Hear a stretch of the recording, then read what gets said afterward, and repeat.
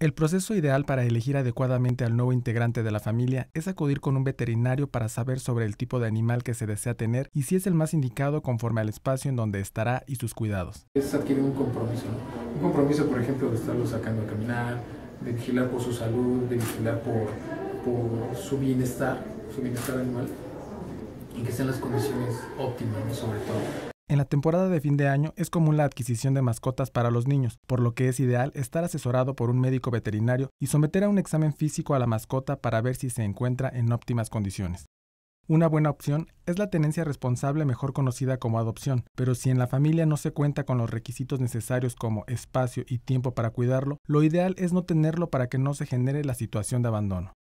en que deben ser orientados por un profesional, en este caso es un médico veterinario, el que tiene los conocimientos para poder decirle, sabes qué,